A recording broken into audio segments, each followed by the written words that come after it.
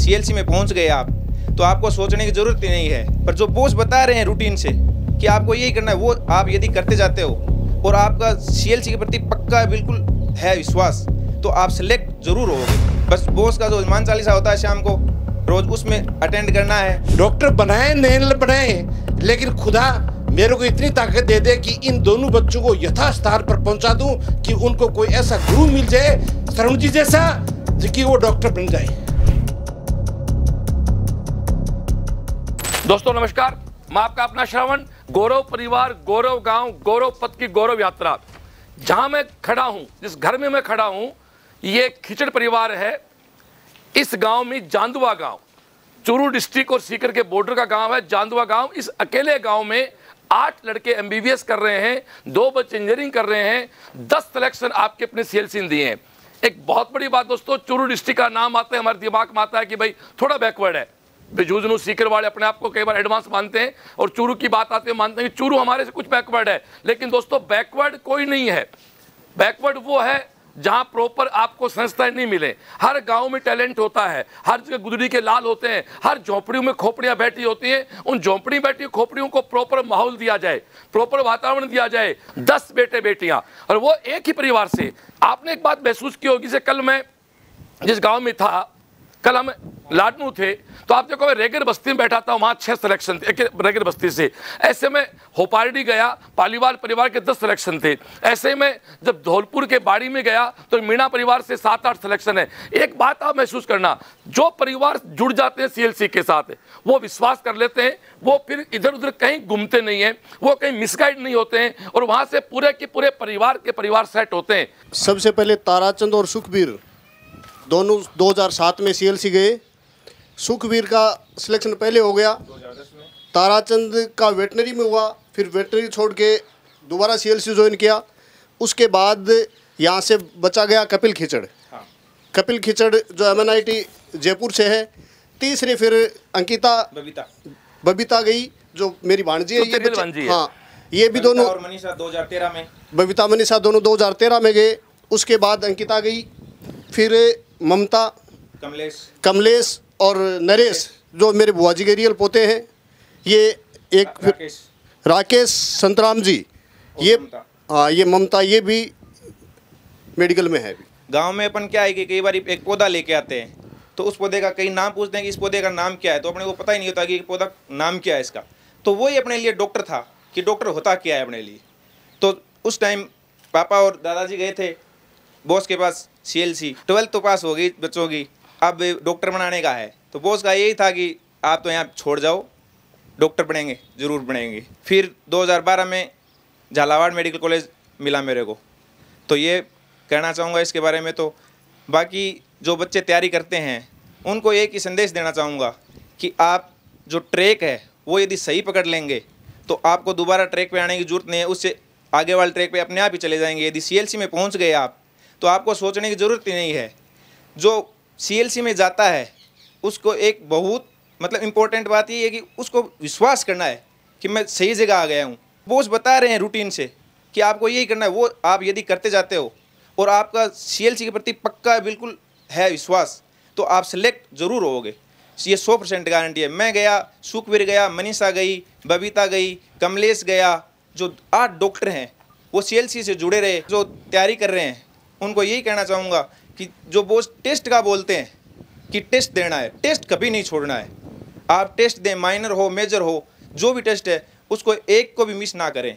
वही आपका selection sure करेगा और रैंक भी ज़रूर बढ़िया एक सिक्योर करोगे आप और अच्छा कॉलेज मिलेगा आपको। सबसे पहले इन दो बच्चों के बारे में बताना चाहता हूँ जो आज डॉक्टर हैं। ये कमरा था, ऐसा ये कोरडी थी ऐसा पल कोई भी इंसान याद नहीं कर सकता।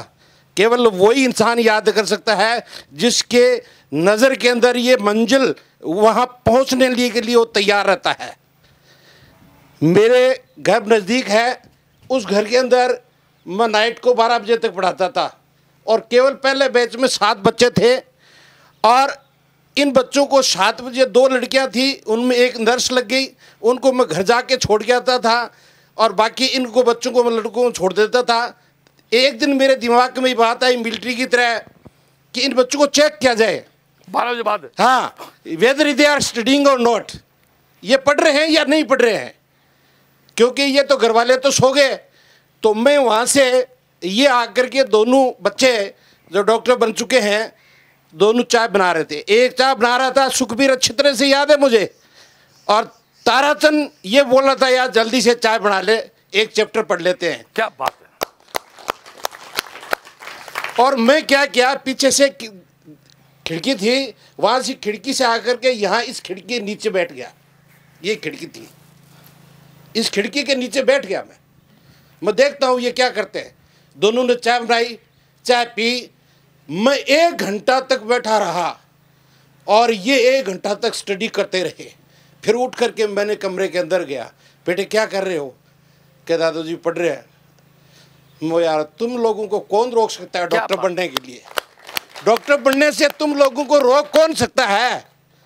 मैंने उस दिन ये धार ली मन में कि रामचंद्र जी टोरू जी डॉक्टर बनाए नहीं बनाए लेकिन खुदा मेरे को इतनी ताकत दे दे कि इन दोनों बच्चों को यथास्थान पर पहुँचा दूँ कि उनको कोई ऐसा गुरु मिल जाए श्रवण जी जैसा जो कि वो डॉक्टर बन जाए। जय हो श्रवण जी मैं आज आपका मेरे से बड़े हो। अरे अरे भाई भाई।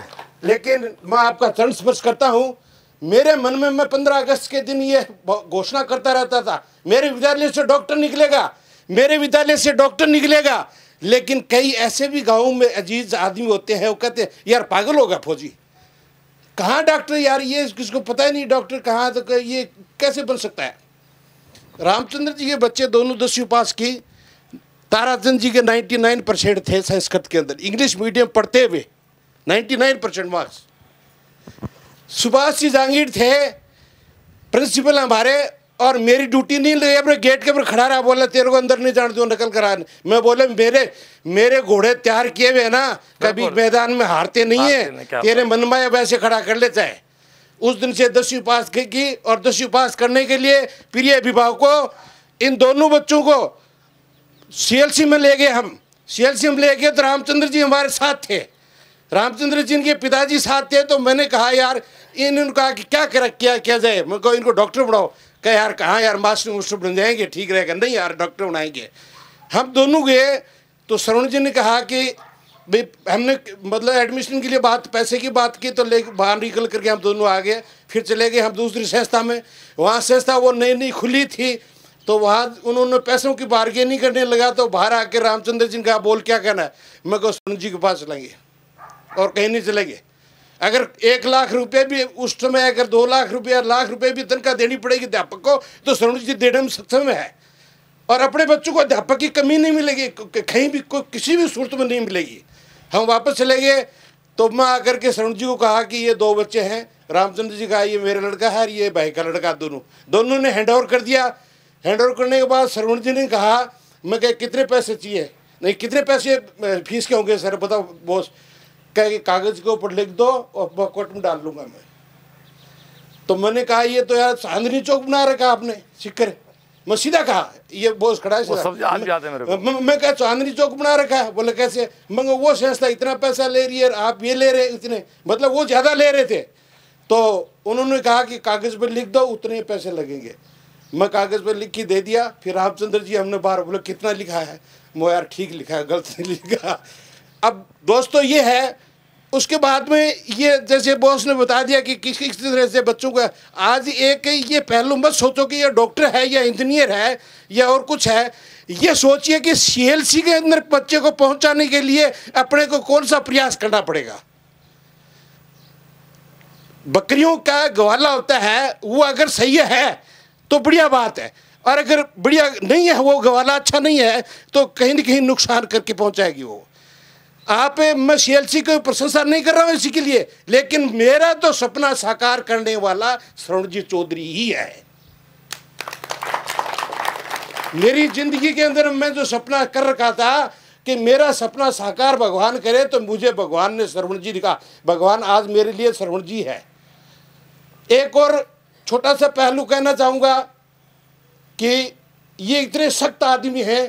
वैसे ताराचंद बदमाशी की, दोबारा गया तब थोड़ी सी बदमाशी बच्चे कर ही लेते हैं। मेरे को खटके से फ़ोन कर दिया। क्या था ना बॉस? बोला ओंकार जी वो रामचंद्र जी को दो, ताराचंद को ले जाए। वो क्या बात होगी बॉस? मैं कहा, मेरे, रामचंद्र जी को कहने की ज़रूरत नहीं, जितने डंडे मारने, उतने डंडे मार दो आप। लेकिन बच्चा सिलेक्ट होना चाहिए। सो कहीं से शिकायत नहीं। क्यों? मुझे रामचंद्र जी पर विश्वास था कि मैं कह दिया वो इससे पार है। अब मैं सबसे दूसरी दी बात डॉक्टर की कहना चाहता हूँ अब एक पहलू सोचिए कि एक डॉक्टर को लगभग पिचासी लाख पचासी हज़ार रुपया तनख्वाह मिल रही है। मेरा सोचना यह नहीं कि इस घर में डॉक्टर होना चाहिए। पिचासी हज़ार रुपया लगभग दो साल के तीन साल के बाद एक लाख रुपया। मेरी संस्था से बहुत पंद्रह बच्चे निकल चुके हैं। बिल्कुल बिल्कुल। पंद्रह बच्चे इंजीनियर और डॉक्टर और एयरफोर्स और नेवी तो अलग है वो अलग है।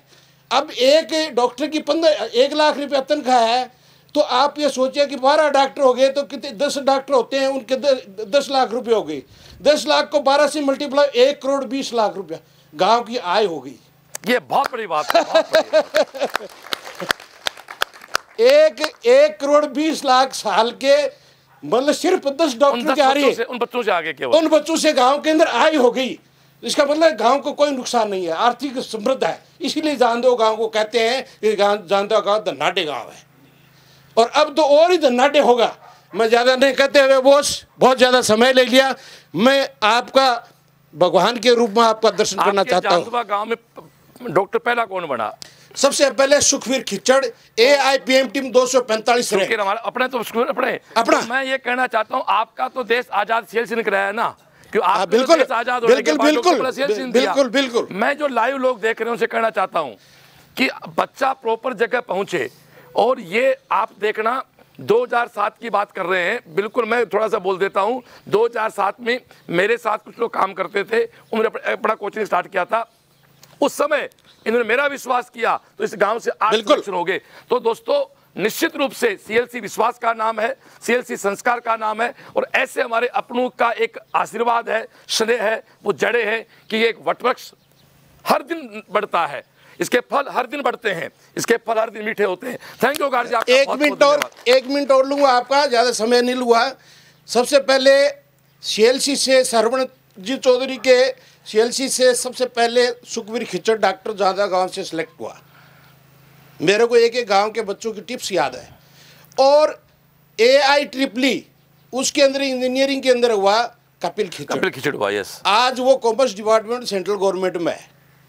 तो दूसरा कई ऐसे बच्चे भी हैं जो कि मतलब गए हैं गए हैं सीएलसी में लेकिन कुछ कामयाबी नहीं मिली तो वो डाइवर्ट हो गए दूसरी तरफ़।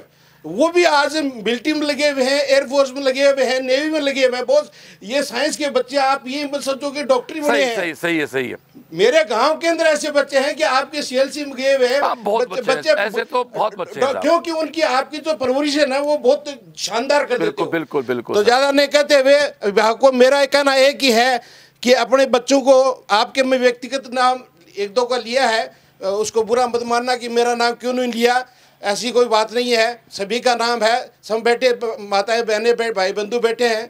और कई कई तो ऐसे भी हैं साहब अभी भी प्रयास है मेरे गाँव के कम से कम छह सात बच्चे आपके हाँ तो छोड़ गया था हाँ, छोड़ गया गया था उसके बाद मुझे जाने की ज़रूरत नहीं पड़ी। तो मैं तो बरतरलाल जी से बात करता हूँ यार कितना किए हैं कि सरवण जी ऐसे और thank you sir Thank you, बहुत- बहुत बहुत धन्यवाद आपका। मैं कहना चाहता हूँ कि मैं पहला लड़का मेरा आरएस बनाना चाहता था। आरएस क्यों बनाना चाहता था कि मैं आरएस बनने वालों के साथ में पढ़ता था? क्या बात है। तो मैंने सोचा आरएस ही बनते हैं लोग। लेकिन वो सपना मेरा पूरा नहीं हुआ। और लालजी सारण थे हरि सिंह जी गोदारा थे जो से वो आरएस की तैयारी करते थे और मैं उनके साथ रहता था। वो लालजी सारण एस बन गए हरि सिंह जी दूसरे लाइन में चले गए। उसी प्रकार से मेरा लड़का भी दूसरे लाइन में चला गया और वो विदेश चला गया आर एस नहीं बन सका। उसके बाद दो नंबर का लड़का है उसको मैं डॉक्टर बनाना चाहता था। मेरा सपना बदल गया फिर। और मैं और ओंकार जी दोनों ने ही डॉक्टर बनाने के लिए सीकर भेजे उनको, विद्या भारती में। और फिर आपके पास ले जाने का प्रोग्राम बनाया, लेकिन उनके नंबर कुछ कम थे। मेरी वो बात सही नहीं बैठी। नंबरों से कुछ नहीं होता है। सीएल से अगर जाते हैं तो डॉक्टर बन के घर के आते। वो डॉक्टर बन के चला गया और लेक्चरार बन गया। नंबर तीन पर फिर ताराचंद पढ़ करके गया तो मैंने कहा अब ओंकार जी हम सरवण जी के पास ही चलेंगे और आपके पास गए और वो डॉक्टर बन के ही घर आया। ये मेरा सपना पूरा हो गया। अब मैं सभी से कहना चाहता हूँ कि आप धैर्य रखें और एक जगह ठान करके ये नहीं कि आज इस घर में चले गए आज उस घर में चले गए आज इस घर में। बड़ी बात है, ये ये नहीं होना। चाहिए। ये बहुत मैंने वही किया ताराचंद का नंबर नहीं आया तो मैंने ये नहीं कि आप छोड़ दो आप घर आ जाओ नहीं। डॉक्टर सरमन जी ने भी यही कहा मेरे को मैं गया वहाँ कहा आप जाओ अपने गाँव और ताराचंद को मेरे पास छोड़ दो ये डॉक्टर बन के आपके पास आएगा। तो सरमन जी की बात पूरी हुई और मेरा सपना साकार हुआ। अब मैं ज़्यादा समय नहीं लेते छोटी सी बात कहना चाहता हूँ। लिख ले पूरे नोट्स मांग ले वो खुद ही नाप लेते हैं बुलंदी आसमानों की। वो खुद ही नाप लेते हैं बुलंदी आसमानों की। परिंदों को नहीं तालीम दी जाती उड़ानों की। महकना और महकना तो काम है खुशबू का। महकना और महकाना तो काम है खुशबू का। खुशबू नहीं मोहताज होती कदरदानों की। कौन पहुँचा है कभी अपनी आखिरी मंजिल तक? कौन पहुँचा है कभी अपनी आखिरी मंजिल तक? हर किसी के लिए थोड़ा आसमान बाकी है। ये तुझको लगता है तू उड़ने के काबिल नहीं? सच तो यह है कि तेरे पंखों में अभी भी उड़ान बाकी। बाकी है। जय हिंद जय सीएलसी बच्चों में और सभी गार्जियनों के अंदर जोश जुनून और जुज्बा भर के और सही संस्कार दे करके बच्चों को बहुत ही सही मार्ग पर दिया है। और बच्चों को उन्होंने जो हतोत्साहित हो जाते, उनको उत्साहित करने में इनका बहुत बड़ा योगदान रहा है। मैं इनकी संस्था में गया, हर वो प्रोग्राम होता था, सारे सुंदरकांड का प्रोग्राम होता था और हनुमान चालीसा होता था। उसको पर बच्चे जोश से भर जाते थे और बच्चे इतने जोश से भरते कि उसको फिर उसमें नई उत्साह जाती और पुनः तैयारी में लग जाते। हमारे गाँव में जो बच्चों का सिलेक्शन हुआ है, वो उन्हीं की देन है और उन्हीं का ये योगदान रहा है। मैं राकेश खिचड़, डॉक्टर ताराचंद खिचड़ और सुखवीर खिचड़ परिवार से चार डॉक्टर हैं। वैसे तो पूरे परिवार से ही हैं, आठों के आठों। तो मैं अभी अभी टीचर हूँ, परवत्सर नागौर। मैं ये कहना चाहूँगा कि दिल में तो मेरे भी ये इच्छा थी, लेकिन तब पता नहीं था, मैं जानता नहीं था और उस ट्रैक पे गया नहीं। जैसे नदी में हज़ारों पत्थर तैरते हुए अंदर घिसते हुए आते हैं, किसी के पास जौहरी को जब तक नहीं मिलते हैं, तब तक उनका कायाकल्प नहीं हो पाता है। उसी प्रकार से ये हमारे छोटे भाई हैं, डॉक्टर ताराचंद खिचड़, सुखवीर खिचड़, ये सीएलसी में गए। उनके बाद में इनको श्रवण जी सर ने तराश करके हीरे के रूप में जो हमें प्राप्त प्रदान किया है, इसके लिए मुझे बहुत खुशी है। मैं तय दिल से उनका आभार व्यक्त करता हूँ। Thank you sir thank you last एक वक्ता के रूप में और हाँ अभी मैं मेरे बच्चे को भी सीएलसी में छोड़ के आ रहा हूँ। चलो चलो इसी साल। आपके आपके अधूरे सपने आपके बच्चे से पूरे कराएँगे चिंता मत करो। थैंक यू सर मैं सिर्फ़ सीएलसी का परिचय देने की तो ज़रूरत नहीं है क्योंकि सीएससी कोई परिचय की मोहताज है नहीं। परंतु एक सी खासियत बताता हूँ कि आप सिक्कर में जाओगे तो गली गली में आपको कोचिंग मिल जाएँगी। गली गली में। परंतु एक परिवार सीएलसी परिवार है वो परिवार नहीं मिलेगा आपको। उसकी खासियत क्या है कि कोचिंग में जाओगे तो आपको सिर्फ़ शिक्षा मिलेगी। परंतु यदि सीएलसी में जाओगे तो सीएलसी एक परिवार है। और जो श्रवण जी हैं या अपने बॉस हैं वो एक डायरेक्टर के रूप में नहीं है ये गार्जियन है। वहाँ जाता है उसके गार्जन हैं। डायरेक्टर कम गार्जन ज़्यादा। क्योंकि परिवार की एक खासियत है सीएलसी को परिवार क्यों बोला जाता है? क्योंकि परिवार में सिर्फ़ शिक्षा नहीं होती संस्कार भी होते हैं। परिवार में शिक्षा संस्कार और गार्जन तीनों मिलते हैं। कोचिंग में सिर्फ़ और सिर्फ़ शिक्षा मिलती है परंतु सीएलसी में शिक्षा भी मिलेगी संस्कार भी मिलेंगे और आपको एक गार्जियन मिलेगा। और जो बॉस के टच में बहुत रहा हूँ क्योंकि ताराचंद और सुख भी रहते थे वहीं पास में मैं तैयारी करता था टीचर की तो बॉस से मिलता भी था तो उनकी एक मोटिवेशनल स्पीच होती थी। वो सुनने के बाद मैं तैयारी नहीं करता था डॉक्टर की परंतु मेरे रोंगटे खड़े हो जाते थे। ताराचंद कहता था कि भाई साहब, फिर तैयारी करने लग गया, फिर मेरा हुआ नहीं, फिर जयपुर गया, फिर वापस है तो ताराचंद फ़ोन करता था, होने के बाद कि भाई साहब, आपको कह रहा हूँ कि आप बोस की स्पीच सुनो और आपकी तैयारी करे हो टीचर की। परंतु स्पीच ये मत सुनना है कि आपको तेन ठीटा वो करना है। आपको सिर्फ़ और सिर्फ़ ये सुनना है कि वो लाइन जो ट्रैक बता दे ना, वो ट्रैक हर एजुकेशन हब है वो हर किसी भी लाइन में जाते हो, वो ट्रैक आपको काम यूज़ कर सकते हो वो थोड़ा कि किस तरीके से आपको यहाँ से ज़मीन से उठकर आसमान की तरफ़ उड़ान भरते हो, वो ट्रेक आप बोस से सीख सकते हो। वो आपके बोस के गुटके हैं छोटे छोटे वो गुटके रखना और कभी ज़िंदगी में हताश हो जाओ, वो एक गुटका अपने दिमाग में फिट कर लेना, वो गुटका आपको उड़ान दे सकता है।